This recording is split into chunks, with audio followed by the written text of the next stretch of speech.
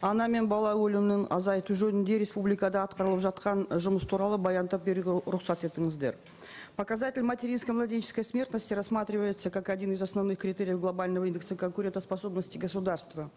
Проводимые сегодня правительством Республики Казахстан мероприятия позволили улучшить показатели здоровья матери и ребенка, и об этом свидетельствуют следующие данные.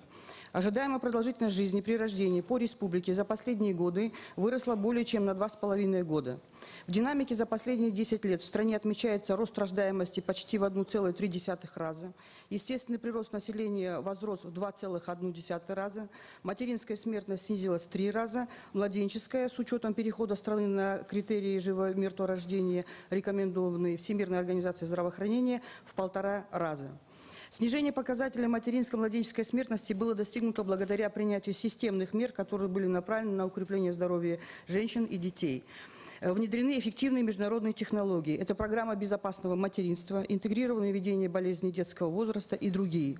В течение последних трех лет э, работает Республиканский центр координации внедрения эффективных технологий. В каждом регионе действуют на базе перинатальных центров и детских больниц учебные центры по непрерывному профессиональному развитию медицинских работников, которые оказывают непосредственно медицинскую помощь беременным, роженицам, родильницам и детям. Более 80% медицинских работников, как мы говорим, критическая масса, родовспомогательных и детских организаций были обучены по международным, по международным стандартам. Значительно улучшена экстренная неонатальная педиатрическая помощь. Для оценки знаний и практических навыков открыты и работают два республиканских центра в городе Астана и Алмата. В последние годы на основе доказательной медицины усовершенствованы более 200 клинических протоколов, утверждены и используются в практике алгоритмы оказания неотложной помощи. В целях повышения эффективности и своевременности оказания медицинской помощи беременным и новорожденным детям, в том числе недоношенным, осуществлена регионализация перинатальной помощи. То есть все медицинские организации областей распределены по трем уровням в соответствии со степенью риска течения беременности и родов. В рамках единой национальной системы здравоохранения почти в три раза увеличилась госпитализация беременных с факторами риска в перинатальные центры. Благодаря поэтапному увеличению финансирования, закупа необходимого медицинского оборудования для родильных домов и детских стационаров, оснащенность перинатальных центров уже сегодня варьирует в пределах 60-90%. Наряду с этим родильные дома, детские стационары в стране обеспечиваются современными дорогостоящими лекарственными средствами в полном объеме в рамках гарантированного объема бесплатной медицинской помощи для лечения и выхаживания недоношенных и больных детей. Хочу сказать, э, что Республика Казахстан – это одна из немногих стран, которая с 2009 года осуществляет конфиденциальный аудит материнской смертности, который рекомендован Всемирной организацией здравоохранения. На уровне министерства ежедневно проводится мониторинг критических состояний беременных рожениц, родильниц, и за последние годы отмечается снижение на четверть, на 25% критических случаев в акушерстве. Подобная тенденция сохраняется в первом полугодии этого года, и сегодня у нас зарегистрировано около 600 женщин, которые находились в тяжелом или крайне тяжелом состоянии во время беременности, которых удалось спасти.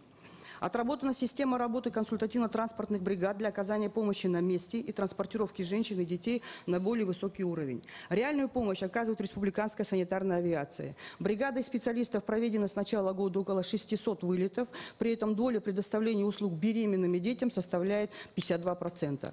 Благодаря поддержке правительства Республики Казахстан на сегодняшний день финансирование республиканской санитарной авиации увеличено и в 2013 году составило 1,8 миллиардов тенге. Уважаемый Серик Нагметович, доставка тяжелых больных, особенно рожениц и детей, в кратчайшие сроки имеет э, жизненно важное значение. В настоящее время у нас появилась возможность забирать пациентов из любой точки страны. Однако необходимо в каждом районе организовать площадки для посадки вертолетов и самолетов санитарной авиации. И, пользуясь случаем, я хотела попросить вас дать протокольное поручение Акимам по решению данной задачи. Значительный вклад в снижение детско-младенческой смертности вносит развитие высокоспециализированной медицинской помощи. Свое развитие получила детская хирургия, в том числе кардиохирургия. За последние три года высокие технологии, выхаживание новорожденных, мультидисциплинарный подход в обучении специалистов позволит снизить смертность после операции с 30% до 15%.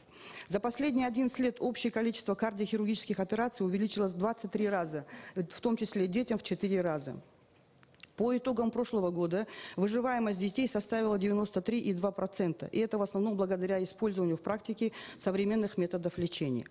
В рамках реализации плана мероприятий государственной программы «Саламата Казахстан» на уровне первичной медико-санитарной помощи в 2,3 раза увеличено финансирование дополнительных должностей медицинских сестер, социальных работников, психологов.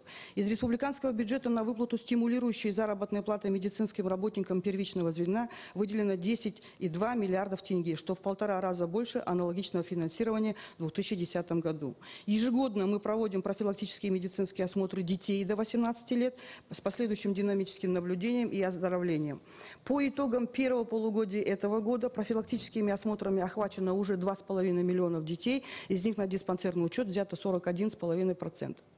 Проводится дородовый скрининг беременных на выявление врожденных пороков развития плода и наследственных генетических заболеваний. Необходимо отметить, что охват дородовым скринингом в Республике Казахстан сегодня составляет уже 75%. Последние три года в республике поэтапно внедряется вакцинация детей против пневмококковой инфекции. На сегодняшний день уже 10 регионов страны охвачены данным видом вакцинации, и к 2015 году все регионы будут охвачены данным видом вакцинации. Мы э, прогнозируем снижение смертности детей в результате на 20%. В рамках принятой в Казахстане модели первичной медико-социальной помощи созданы центры семейного здоровья с отделениями профилактики и социально-психологической помощи. При активном участии неправительственных организаций на основе государственного социального заказа созданы молодежные центры, центры «Здоровая семья», профильные школы здоровья.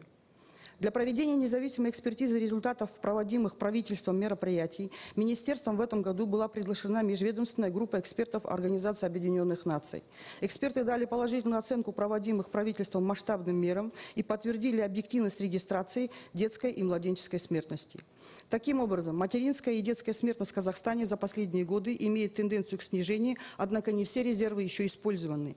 Несмотря на ряд мероприятий, рекомендованных регионам республиканским штабом по принятию неотложных мер по снижению материнской и младенческой смертности, по итогам первого полугодия текущего года, в сравнении с аналогичным периодом прошлого года, показатель материнской смертности вырос в Павлодарской области, Атырауской области, Жамбулской, Акмолинской, Кустанайской, Мангостауской, Актюбинской и города Астана. И, пользуясь случаем, я хотела просить Акимов еще раз вернуться к этому вопросу, взять на контроль исполнение э, всех рекомендаций республиканского штаба. В стране остается проблема здоровья матери. Э, экспертами э, ООН подчеркнуто, что в структуре младенческих потерь в 41,6% случаев это напрямую зависело от здоровья матери. матери. И в этой связи хотелось бы акцентировать ваше внимание на следующем. В международной, международной практике используются дешевые, но вместе с тем эффективные методы профилактики различных заболеваний путем обогащения принимаемых продуктов питания необходимым для организма микроэлементами. Без значительных затрат на лечение такими способами можно существенно улучшить показатели здоровья населения, особенно женщин и детей. Мы предлагаем внимательно изучить этот опыт и поэтапно начать его внедрение у нас в республике, о чем вас проинформирует представитель детского фонда ООН в Казахстане Джон Кукита.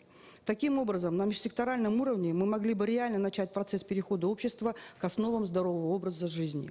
Уважаемый Серик Нагметович, уважаемые коллеги, по медицинским проблемам мы и дальше будем продолжать системные меры, направленные на диагностику, лечение болезней и их осложнений. Нам необходима сегодня информационная поддержка республиканских и местных СМИ по широкому освещению и пропаганде принципов здорового образа жизни, особенно в части охраны репродуктивного здоровья, солидарной ответственности семьи за здоровье. Кроме того, как вы знаете, в последнее время начата работа по масштабной модернизации службы скорой помощи. Каждая машина скорой помощи должна быть адаптирована современным требованиям и обязательно иметь полный набор медицинской техники согласно утвержденному стандарту. Поэтому просила бы регионы, учитывая эти требования, при самостоятельном, учитывать эти требования при самостоятельном закупе санитарного автотранспорта.